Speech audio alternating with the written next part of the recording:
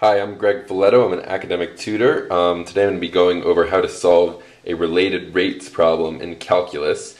And so here's the problem we're going to be working on. A 13 foot ladder is resting on a wall. The top of the ladder is sliding down the wall at a rate of 10 feet per second.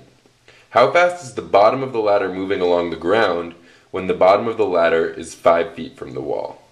Alright, so first we're going to draw a picture to sort of wrap your head around what's going on here. So you got your wall, your ground, I'm very bad at drawing, and your 13 foot ladder. And um, what's happening is the uh, top of the ladder is sliding down and the bottom of it's sliding out as it falls down the wall. Um, and I'm going to call this height of the ladder here y, and this distance to the bottom of the ladder from the wall x. This is the right angle at the wall. Um, and so you know, as the ladder slides down, the top of it slides down, the bottom of it slides out as it falls under itself flat onto the ground. Okay, now what they're asking us for here is how fast the bottom of the ladder moves along the ground uh, at a certain time, given that the top of the ladder is falling at a specific rate. So basically, the rate at which the top of the ladder is falling is like dy dt. It's the rate of change of y, and they want us to find the rate of change of x with respect to time. Um, and so how we solve this problem is we need an equation that relates dx dt to dy dt. And the way that you do that is you find an equation that relates x to y. And then you take the derivative with respect to time of both sides. And that leaves you with an equation that relates the rate of change of x to the rate of change of y. So that's sort of the game plan. Um, so our first step and the hardest step in solving a related rates problem is to get an equation that relates x and y. Um, once you've done that, everything's pretty straightforward. And so drawing this picture again, um, with the hypotenuse, it makes a right triangle, right, with y and x.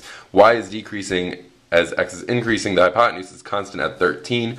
But what's always going to be true in this right angle, regardless of x and y, is the Pythagorean theorem. x squared plus y squared is going to be equal to 13 squared, um, no matter what. So in this case, that is our equation that relates x and y. Wasn't too hard to get in this case.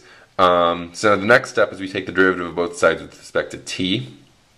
Um, and so you get 2x dx dt. Notice I'm using the chain rule there. I took the derivative of x squared with respect to x, and then took the derivative of x with respect to t. I'm going to do the same with the y to get 2y dy dt, and that is equal to 0.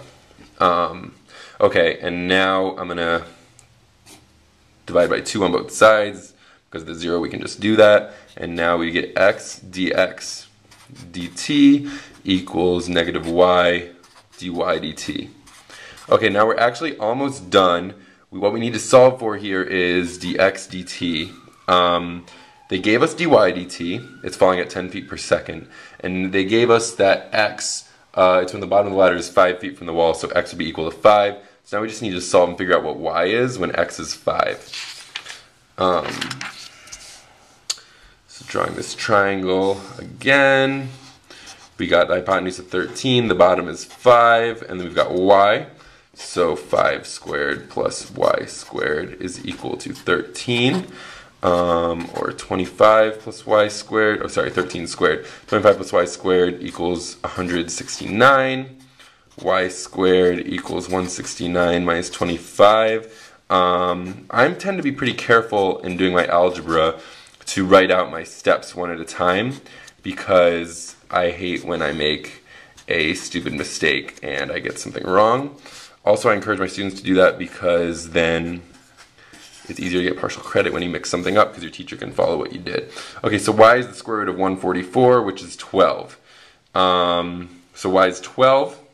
So getting back to our original equation, or the equation that we'd solved for rather, um, we've got x dx dt equals negative y dy dt. So x is 5. Um, dx dt is what we're solving for that's equal to y we just found out is um, 12. So we got negative 12. And dy dt is actually negative 10 because the ladder is falling, which means that y is decreasing. Um, so just sort of wrapping up here. 5 dx dt equals negative 10 times negative 12. So 5 dx dt equals 120. Um, dx dt therefore equals 24, and that's our answer. Um, so let's check and make sure this is reasonable. Um, dx dt should be positive because x is increasing as the ladder uh, slides out, going back to original diagram. x is increasing as the ladder slides out, so x should be, dx dt should be positive, so that's a reasonable answer. Um, seems kind of large, but the math is all correct, and that's what the answer is. So to solve the related rates problem, um, you need an equation that relates your rates of change to each other. So to get that, you get an equation that relates your variables to each other, in this case y and x, and then take the derivative of both sides with respect to t. The hardest part is getting that initial equation, which is made easier if you make yourself a good drawing like we did this time, and then from there, it's all pretty straightforward. Um, so thanks a lot for watching. If you have any questions about this video, uh, please let me know in the comments, and I'll try to answer them as quickly as I can. Um, to watch more of my videos, you can go to my website at latutor.net, or you can go to my YouTube channel and check them out. Uh, thanks a lot. Hope that was useful.